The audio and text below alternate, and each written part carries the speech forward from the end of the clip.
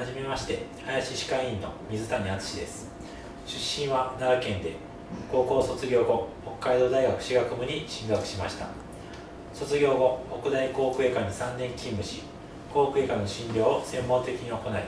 日本口腔外科学会認定を取得いたしました。2015年の4月から林歯科医院で勤務をしております。林歯科医院に来て最も力を入れていることが歯周病治療を軸としていかに歯の保存を行っていくこと。その治療方針の立案と実行できる技術力の向上です。院長先生が歯周病インプラントの専門医である。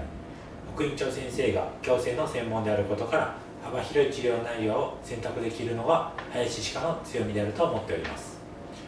多くの選択肢があることから悩むことも多いですが忙しい時間の中でも我々の相談に乗っていただき指導していただける環境にいることで自分の力がどんどんついていることが実感するようになってきました。ペンフィールドの脳地図にあるように全身の中で手と口は最も感覚が鋭い場所である。これからの高齢化社会において口腔機能を向上させることは QOL の向上にもつながると思います。そんな歯科医師を志す人たちと一緒に仕事をしていきたいと思っております。よろしくお願いします。